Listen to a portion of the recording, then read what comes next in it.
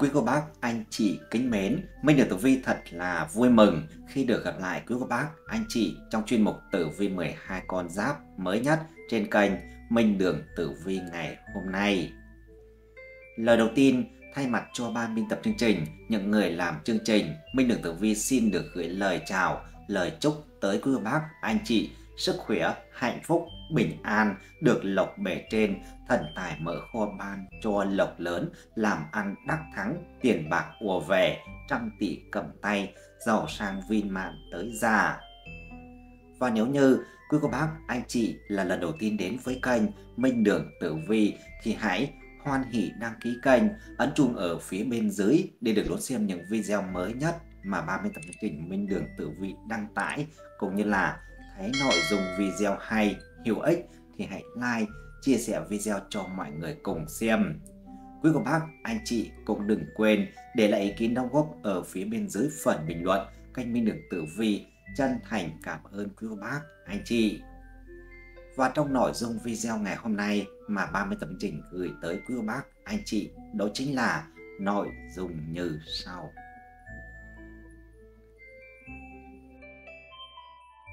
Chấn động, tiên tri cực chính xác, tuổi giáp thìn sinh năm 1964, đúng 11 ngày tới, thần tài trả ơn, tránh họa đắc phúc, lộc đến bất ngờ, trúng số liên tiếp, đổi đời xứng tầm đại gia. Hoan hỷ chào mừng quý cô bác anh chị đã đến và đồng hành cùng với kênh Minh Đường Tử Vi trong chuyên mục Tử Vi thời gian này nhất của 12 con giáp ngày hôm nay. Quý vị thân mến, luận về vận số cuộc đời nhận thấy, những năm vừa qua thì cô bác tuổi giáp thìn đã gặp rất nhiều vất vả khốn khó đủ đường, nhiều khi giật mình kinh hãi khủng khiếp trong cảnh nợ nần túng thiếu tiền bạc, phải cúi đầu đi vay mượn khắp trốn, lao tâm khổ tứ tìm đủ mọi cách để lo xoay sở, trang trải cuộc sống mưu sinh. Nhưng nghèo khó thế đủ rồi, và theo tiên tri mới nhất thì đúng 11 ngày tới đây, sẽ là lúc mà cô bác anh chị tuổi giáp thìn có thể hồi phục và gây dựng lại những thứ bị mất mát trước đó. Thời gian này, bản mệnh sẽ đón nhận thời vận mới với nhiều điều may mắn và phúc khí vây quanh có các tinh phù trợ, bề trên che chở, vận trình đường sáng bất ngờ, từ sự nghiệp, công danh đến tài lộc của người tuổi giáp thìn đều được khởi sắc khi mà được thần tài ban lộc, thần may mắn gõ cửa, bất ngờ nhận phúc lớn, giàu có ú u, tiền bạc ào ào kéo về nhà, đổi đời giàu sang, tiền vàng nhét nứt kép. Vậy, vận trình tử vi chi tiết trong các phương diện cuộc sống của người tuổi giáp thìn sẽ diễn ra như thế nào trong 11 ngày tới đây? May mắn nào sẽ đến với bản mệnh trong khoảng thời gian này? Tất cả sẽ được Minh Đường Tử Vi luận giải chi tiết trong video ngày hôm nay. Xin mời quý cô bác anh chị tuổi giáp thìn hãy theo dõi và chiêm nghiệm. Chấn động, tiên tri cực chính xác, tuổi giáp thìn sinh năm 1964, đúng 11 ngày tới, thần tài trả ơn, tránh họa đắc phúc, lộc đến bất ngờ, trúng số liên tiếp, đổi đời xứng tầm đại gia.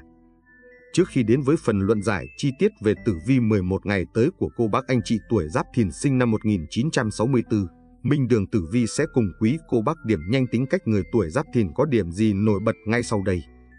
Những người sinh năm Giáp Thìn 1964 có tính cách hòa đồng, thân thiện và ngoại giao giỏi. Điều này giúp bản mệnh có thể làm quen và tạo mối quan hệ với mọi người dễ dàng hơn. Tuy nhiên, con giáp này cũng sẽ đôi khi nóng tính một chút và dễ dẫn tới mâu thuẫn với người khác. Về công việc, những người sinh năm Giáp Thìn sẽ là người công tư phân minh, nghiêm túc và có tầm nhìn xa.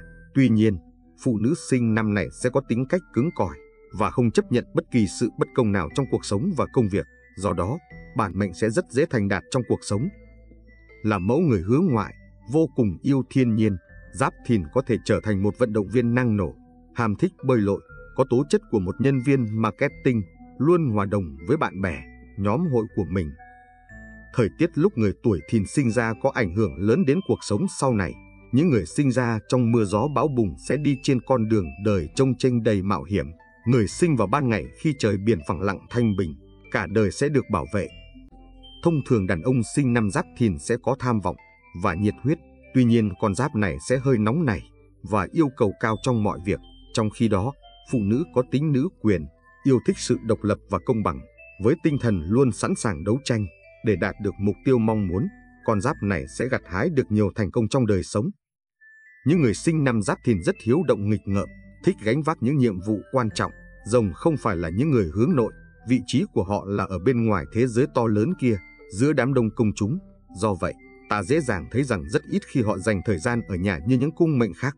Tổ ấm thân yêu của Giáp Thìn có nét đặc trưng là sự uy nghiêm trang trọng. Tiếp theo sau đây hãy cùng đi tìm hiểu tổng quan tử vi 11 ngày tới của người tuổi Giáp Thìn sinh năm 1964.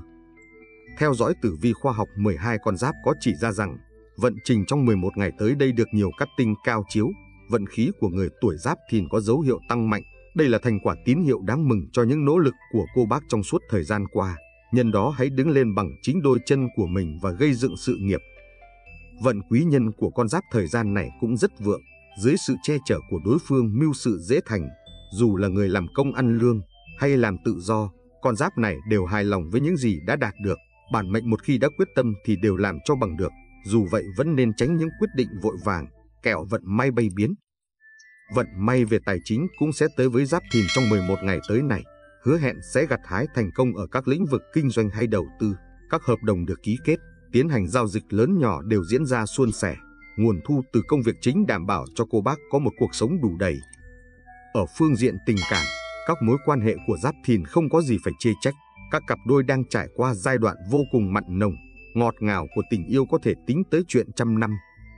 Tình hình sức khỏe tuổi Giáp Thìn duy trì ở mức ổn định, tuy nhiên khó tránh khỏi tình trạng mệt mỏi, uể oải do làm việc quá sức hay sinh hoạt không điều độ. Nếu bản mệnh biết cân bằng thời gian cho công việc và nghỉ ngơi, thì tình trạng này sẽ nhanh chóng được cải thiện. Xét phương diện sự nghiệp, tuổi Giáp Thìn trong 11 ngày tới, Tử vi 11 ngày tới của 12 con giáp thấy rằng vận khí tăng mạnh trong thời gian này, giúp kế hoạch của người tuổi giáp thìn diễn ra trôi chảy và thuận lợi vô cùng. Đồng thời, bản mệnh cũng sẽ có nhiều việc phải làm hơn, cơ hội tới dồn dập nên hãy tận dụng đúng lúc đúng việc nhé. Thời gian này giáp thìn được cả nguyệt lệnh lâm quan đới và sao thái dương chiếu mệnh nên vận quý nhân vô cùng vượng.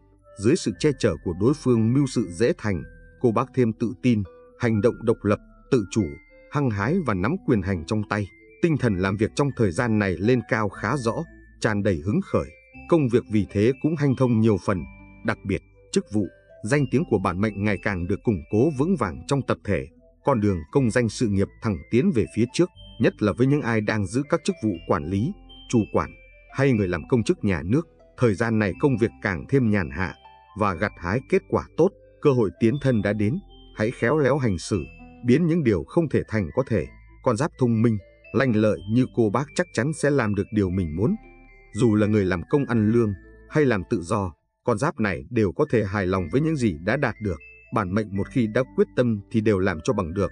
Với những ai muốn định hướng nghề nghiệp cho con cháu, thành lập công ty, khai trương cửa hàng, cửa hiệu, thời gian này là thời điểm khá lý tưởng, tranh thủ tận dụng sức mạnh từ quan đới để đánh nhanh thắng nhanh.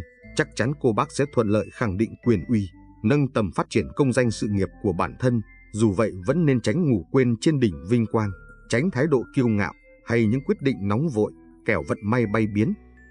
Trong quá trình làm việc, dù vấp váp bất cứ trở lực nào cũng cần từ tốn, bình tĩnh để giải quyết, vừa khiêm nhường lại không ngừng học hỏi, tích lũy kinh nghiệm. Có như vậy cô bác mới không bị tụt hậu so với thế hệ trẻ hơn, làm gì cũng cần có kế hoạch cụ thể. Đó chính là bí quyết giúp bạn thành công hơn nữa. Vì thế, hãy dành chút thời gian để hoạch định các kế hoạch rõ ràng, sắp xếp lịch trình hợp lý, tinh thần vừa thư thái và dễ lại đạt hiệu quả cao. Xét về phương diện tài lộc, tử vi 11 ngày tới của tuổi giáp thìn lịch dự báo, nhờ có tài tinh chính tài chiếu mệnh, vận may về tài chính cũng sẽ tới với những chú rồng trong thời gian này. Các khoản thu nhập đều tăng tiến, hứa hẹn sẽ gặt hái lợi nhuận, không chỉ từ công việc cố định mà còn ở các lĩnh vực kinh doanh hay đầu tư. Với người làm kinh doanh, bản mệnh có cảm giác kiếm tiền dễ dàng và nhiều hơn trước. Các cuộc giao dịch tiền bạc, ký kết hợp đồng đều diễn ra thuận lợi. Bản thân cô bác được hưởng lợi không nhỏ. Hơn nữa, Thái Dương các tinh báo hiệu cô bác còn dễ gặp được quý nhân. Đó có thể là khách hàng nam hoặc một người bạn kết giao lâu năm mang tới cho Giáp Thìn các cơ hội đầu tư, làm ăn ngon nghề, lợi nhuận thu về không nhỏ.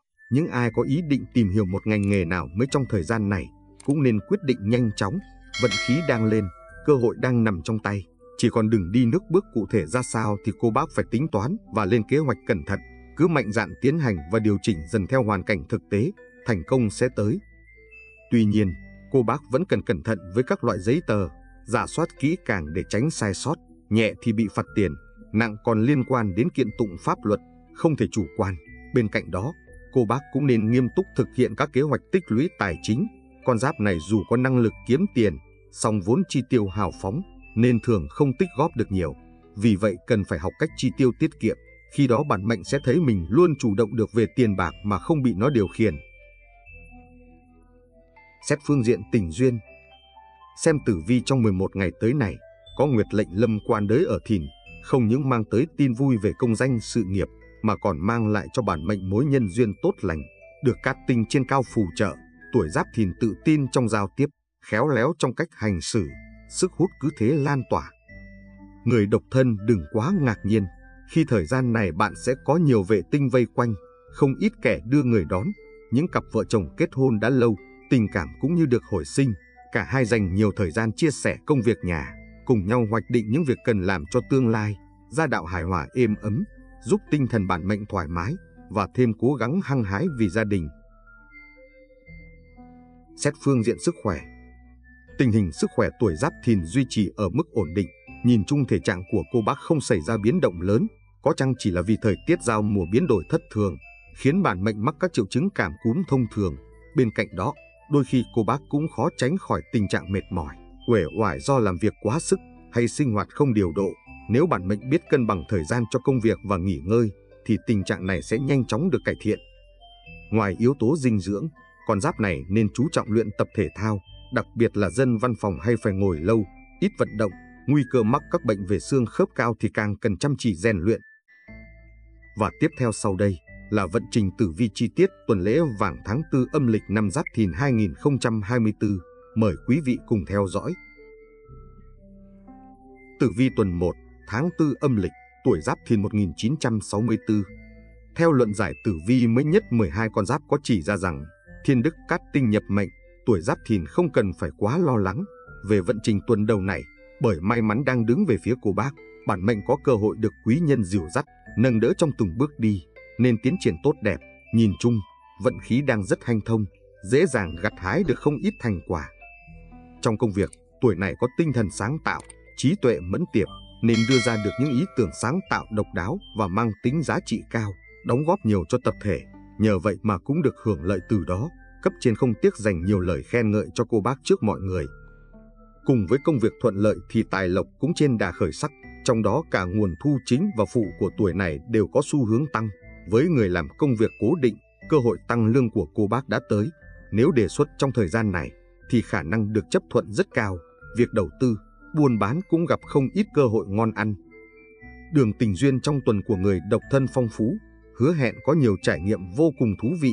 Tuổi này giỏi ăn nói, giao thiệp rộng nên dễ thu hút được người khác cơ hội để cô bác mở rộng quan hệ và tìm được một nửa cho mình khá nhiều.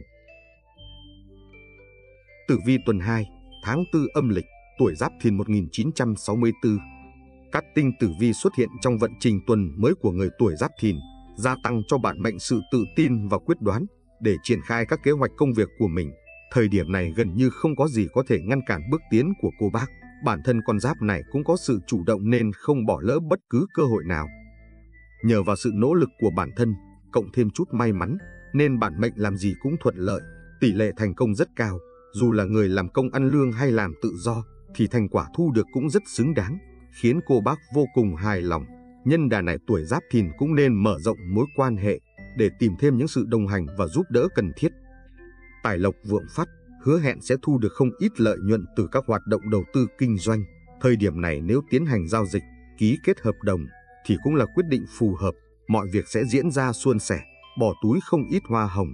Tuy nhiên cô bác cũng nên quản lý chi tiêu chặt chẽ hơn.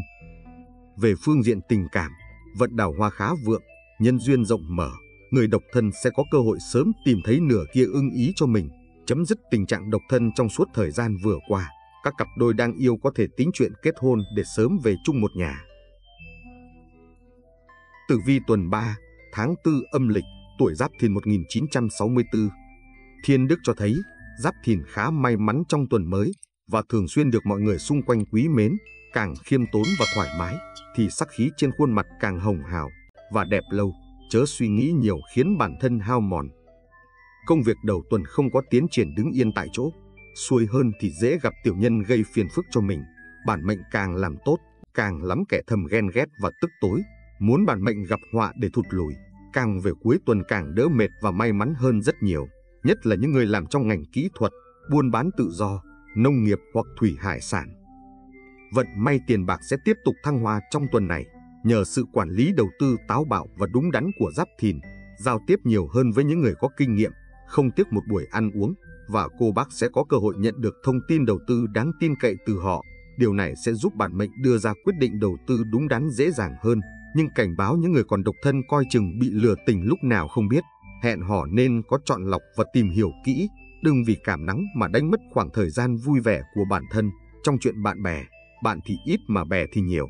Giáp Thìn biết rõ nhiều bạn không ưa mình, nhưng thầm chịu đựng không muốn vạch trần. Tử vi tuần 4, tháng 4 âm lịch, tuổi Giáp Thìn 1964. Tử vi tuần mới của 12 con giáp chỉ ra rằng, nhờ các tinh tử vi soi đường chỉ lối cho Giáp Thìn không bị lạc đường trong tuần mới này. Tuần cuối cùng chuyện gì cũng sẽ được như ý, lộc lá về tay bạn trong sự ngỡ ngàng. Rất có thể kế hoạch làm việc tuần này sẽ hoàn thành trước thời hạn nhưng đừng mạo hiểm. Cách duy nhất để nâng cao hiệu quả là chậm mà chắc. Bạn linh hoạt dễ nảy ra những ý tưởng táo bạo, có thể dùng những chiêu trò lạ để giành chiến thắng trong công việc nhưng thứ sáu lại dễ bị người khác gài bẫy nên bạn cần cẩn thận. Nếu bạn có bất kỳ thắc mắc nào hãy trao đổi với các thành viên trong gia đình. Đây sẽ là sự trợ giúp không thể thiếu trong việc kiếm tiền cuối năm của họ. Bạn cũng có lộc làm ăn, nhất là những bạn đang buôn bán tự do hoặc theo đuổi con đường quan chức. Một quý nhân lớn tuổi sẽ hỗ trợ bạn khá nhiều trong tuần mới. Tuần này người độc thân hãy giao tiếp nhiều hơn với người lớn tuổi vì họ có thể cho bạn những lời khuyên bổ ích. Vận may tình duyên sẽ nóng lên trong cuối tuần này. Đây là thời điểm thích hợp để các cặp đôi hẹn hò, bày tỏ tình cảm, đồng hành trong một chuyến đi chơi xa và xích lại gần nhau hơn. Vâng quý vị thân mến, đời người khác nhau chỉ ở một ý niệm, tốt thì thành Phật, xấu thì thành ma, nhìn thế giới bằng ánh mắt lạnh lùng sẽ chỉ thấy cuộc đời tàn khốc, vô tình, nhìn thế giới bằng trái tim ấm nóng, cuộc đời ấm áp và đầy tình người như cảnh xuân. Cảnh là do tâm sinh, vận mệnh của đời người tốt hay xấu hoàn toàn do mình mà ra, phụ thuộc vào chính ý niệm của chúng ta. Nếu số mệnh đã nằm trong tay, bạn sẽ lựa chọn hướng đi của cuộc đời mình ra sao? Nếu vẫn chưa có câu trả lời, hãy đọc tiếp câu chuyện ngắn về năm chữ vàng của thiền sư dưới đây. Chắc chắn bạn sẽ ngộ ra rất nhiều điều quý giá mà bấy lâu vẫn mơ màng. Câu chuyện như sau. Một ngày nọ, có hai thanh niên trẻ gặp nhiều áp lực ở nơi làm việc, nên đã quyết định cùng nhau tìm tới một ngôi chùa thanh tĩnh mong tìm chút khuây khỏa cho tâm hồn. Khi gặp một vị thiền sư, họ liền hỏi, Thưa đại sư, chúng con đi làm khổ quá, hay bị ức hiếp, cầu xin ngài chỉ bảo, chúng con có nên nghỉ việc ở đó hay không? Vị thiền sư không trả lời ngay, khẽ nhắm mắt ngồi trầm tĩnh, sau một hồi lâu ngài mới đáp lời, nhưng chỉ nói năm từ chỉ là một bát cơm, sau đó không nói thêm gì nữa, phất tay ý bảo hai người rời đi, hai thanh niên trẻ tuổi đó quay về, sau đó một người lập tức nộp đơn xin nghỉ việc trở về quê hương làm ruộng, người còn lại vẫn tiếp tục làm việc ở công ty cũ, thời gian thấm thoát thoi đưa, thoáng cái đã hơn 10 năm trôi qua, người thanh niên từng nghỉ việc về quê làm ruộng, luôn tích cực học hỏi kinh nghiệm từ những người nông dân đi trước, cộng thêm những phương pháp mới mẻ mà tự mình mày mò ra, nay đã trở thành một chuyên gia nông nghiệp có tiếng, còn người bạn khi đó cũng đã trải qua nhiều thay đổi. Anh ta ở lại công ty, cố gắng nhẫn nại, cố gắng học hỏi, cuối cùng nhận được sự tín nhiệm của cấp trên nên dần được coi trọng và nay đã trở thành một quản lý một ngày nọ, hai người bạn cũ tình cờ gặp lại nhau, cả hai nói về những chuyện đã xảy ra trong những năm qua, ai nấy cũng đều rất xúc động. Vị chuyên gia nông nghiệp vẫn rất thắc mắc khi ấy, đại sư cho chúng ta chỉ năm chữ chỉ là một bát cơm. Năm chữ này tôi nghe xong liền hiểu ngay, chẳng qua cũng chỉ là vì một bát cơm thôi mà. Sao phải làm khổ bản thân cứ miễn cưỡng ở lại công ty làm gì? Cho nên tôi đã xin nghỉ việc, còn anh sao lại không nghe theo lời của đại sư? Người quản lý vừa cười vừa đáp, tôi có nghe chứ, Đại sư nói chẳng qua cũng chỉ là một bát cơm, cho nên sau đó dù có khổ ra sao, mệt thế nào, chịu bao nhiêu sự khinh bỉ hay rắc rối, tôi chỉ cần nghĩ đến năm chữ vàng của thiền sư thì dù ông chủ có nói những câu khó chịu, chỉ cần mình bớt so đo, bớt hờn giận, đừng cái gì cũng chấp vặt thì sẽ thấy mọi thứ nhẹ nhõm hơn. Ý của đại sư chẳng phải là như vậy sao? Hai người nhìn nhau ngờ ngợ, không ai chắc chắn ý của thiền sư là cái nào. Thế là cả hai hẹn nhau một ngày khác sẽ đến hỏi rõ thiền sư. Bây giờ vị thiền sư đó đã lớn tuổi, nghe xong nghi ngờ của hai người kia, ông ngồi nhắm hai mắt trầm tư, sau một hồi lâu mới thốt ra câu, chỉ là một ý niệm, sau đó cũng phất tay rời đi. Bấy giờ hai người kia nhìn nhau mỉm cười, dường như giờ trong lòng đã sáng tỏ tất cả, có thể thấy cùng là một câu nói, nhưng do nhận thức cảm nhận và tâm lý của mỗi người mà nó lại được hiểu theo một nghĩa khác nhau. Ý thức khác nhau khiến con người suy nghĩ và hành động dẫn đến kết quả khác nhau, cũng giống như câu chuyện bên trên. Hai người cùng nghe năm chữ vàng của thiền sư chỉ là một bát cơm, nhưng lại có hai cách hiểu khác nhau, hai lựa chọn cuộc đời khác nhau. Không rời được dục vọng thì cả đời phiền não. Người không vừa lòng với hoàn cảnh, tất nhiên sẽ nóng nảy muốn rời khỏi nơi khiến mình chịu khổ. Người biết nhẫn nại, nghe xong tất nhiên sẽ tiếp tục ở lại chịu đựng, chờ đợi tới khi mình được hồi báo xứng đáng. Thực ra thì cả hai thanh niên trong câu chuyện trên đều đã sớm có câu trả lời trong lòng mình. Một người đã không thể chịu đựng nổi nữa, một người thì vẫn cố gắng nằm gai nếm mật. Một câu nói của thiền sư tăng thêm lòng tin, sự kiên định cho hai người. Vì vậy họ mới có hai lựa chọn khác nhau. Cuộc đời vốn không có thứ gì tốt tuyệt đối hay xấu tuyệt đối. Nếu như đã có lựa chọn của riêng mình rồi hãy dũng cảm bước tiếp. Đừng chỉ chờ đến khi có ai đó khích lệ thêm lòng tin của mình. Cũng như vị chuyên gia nông nghiệp và người quản lý ở trên chính là một kiểu lựa chọn trong cuộc sống. Không tồn tại cái nào cao, cái nào thấp, chỉ có ta muốn lựa cái nào mà thôi. Đời người ra sao chẳng qua chỉ nằm ở một ý niệm, tự bản thân ta quyết định ý niệm đó là tốt nhất, không cần phải mượn tay người khác. Chương trình đến đây xin phép được khép lại. Chúc quý mệnh chủ tuổi giáp thìn, nắm được vận mệnh phú quý, giàu sang viên mãn. Bên cạnh đó, quý khán giả đừng quên like và đăng ký kênh để ủng hộ ban biên tập chương trình và cập nhật những video bổ ích trong thời gian sớm nhất quý khán giả nhé. Minh Đường Tử Vi xin kính chào và hẹn gặp lại quý khán giả trong chương trình tiếp theo.